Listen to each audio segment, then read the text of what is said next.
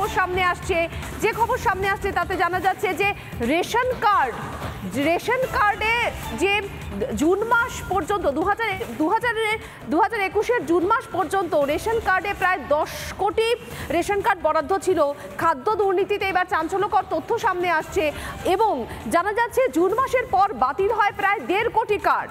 অর্থাৎ দেড় কোটি কার্ডে রেশন তোলার কোনো তথ্য এরপর থেকে পাওয়া যাচ্ছে না। মানে জুন মাস পর্যন্ত দু হাজার একুশে রেশন বরাদ্দ ছিল দশ কোটি। দেড় কোটি কার্ডে রেশন তোলার কোনো তথ্য পাওয়া যাচ্ছে না জুন মাসের পর থেকে। করোনাকালে আমরা কি দেখলাম? করোনাকালে আমরা দেখলাম যে কেন্দ্র অতিরিক্ত খাদ্য বরাদ্দ করেছিল। রেশন বরাদ্দ কিন্তু করা হয়েছিল, বাতিল হয়ে যাওয়া সেই দেড় কোটি কার্ডেও। তাহলে সেই দেড় কোটি কার্ডের রেশন সেটা কোথায় গেল? প্রশ্ন উঠছে আরও তথ্য বিস্তারিত জানাবেন। আমার সঙ্গে রয়েছেন এই মুহূর্তে আমাদের প্রতিনিধি অর্ণব।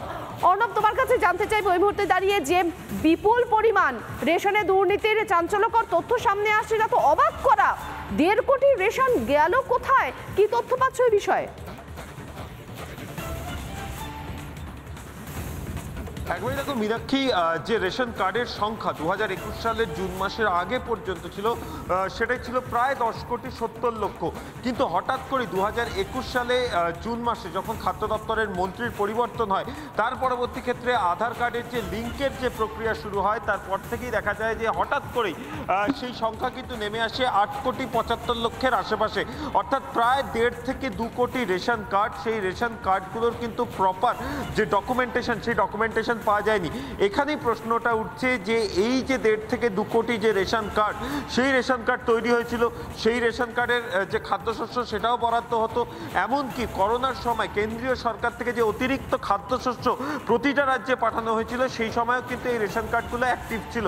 কিন্তু হঠাৎ করে এরপর দেখা যায় যে এক ব্যক্তির নামে একাধিক রেশন কার্ড, মৃত ব্যক্তির নামে রেশন কার্ড, যা এমন রেশন কার্ড যার কোনো অস্তিত্বই নেই। এই যে বিষয়গুলো, এই বিষয়গুলো উঠে আসতেই রাজ্যের খাদ্য দপ্তর হঠাৎ করে এই যে দেড় থেকে দু কোটি যে রেশন কার্ড, সেই রেশন কার্ডগুলোকে ব্লক করে দেয়। এবং এর ফলে মীনাক্ষী জানলে অবাক হবে যে প্রায় ছত্রিশশো কোটি টাকা সেটা কিন্তু রাজ্য সরকার বাঁচাতে পেরেছে, এগুলোকে ব্লক করবার পরে। কিন্তু এর আগে যখন এই গোটা বিষয়টা চলছিল, সেই সময় এই খাদ্যশস্যগুলো গেল কোথায়? এই খাদ্যশস্য প্রতিটা যে কার্ড থেকে তোলা হয়েছিল, সেই খাদ্যশস্যগুলোই বা কোথায় চলে গেল? সেটাই কিন্তু সব থেকে বড় প্রশ্ন। যে টাকায় বাকিবুর রহমান আহ, সে বিদেশে প্রপার্টি কিনেছে বাইরের রাজ্যে প্রপার্টি কিনেছে এই রাজ্যে প্রপার্টি কিনেছে বিভিন্ন সময় বিভিন্ন মন্ত্রীর ঘনিষ্ঠতা তার কাছ থেকে উঠে এসেছে। তাহলে তারাই কি এই গোটা চক্রটাকে চালিয়েছিলেন? মন্ত্রী বদলের পরেই হঠাৎ করে এই রেশন কার্ডগুলো ধরা পড়ল এবং ব্লক করে দেওয়া হলো। এখানেই কিন্তু প্রশ্ন যে খাদ্য দপ্তরের এই যে দুর্নীতি সেই দুর্নীতি কিন্তু বিগত কয়েক বছর ধরে চলছিল। এবং এক্ষেত্রে আরও একটি বিষয় তোমাকে জানিয়ে রাখি হাওড়ায় যার বাড়িতে রেড চলছে অর্থাৎ অভিজিৎ বলে যে ব্যক্তি, সেই ব্যক্তির নামেও কিন্তু এর আগে কমপ্লেন এসেছিল এবং তাকে কিন্তু হঠাৎ করেই রিমুভ করে দেওয়া হয়। অর্থাৎ এনফোর্সমেন্ট ডিরেক্টরেটের যে এই গোটা রেডের প্রক্রিয়া, সেই রেডের প্রক্রিয়ায় কিন্তু একবারে হালফিলের দুর্নীতি নয়, এটা কিন্তু দীর্ঘদিনের দুর্নীতি।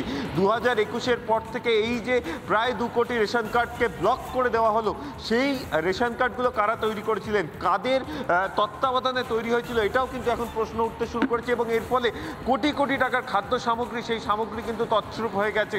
এবং সেই তছরূপের দায় কার? এটাই কিন্তু সব থেকে বড় প্রশ্ন এবং এই নিয়ে কিন্তু এখনও খাদ্য দপ্তরের তরফ থেকে যে ধোয়াশা, সেই ধোয়াশা কিন্তু দূর করা হয়নি। মীনাক্ষী। ধন্যবাদ, অর্ণব।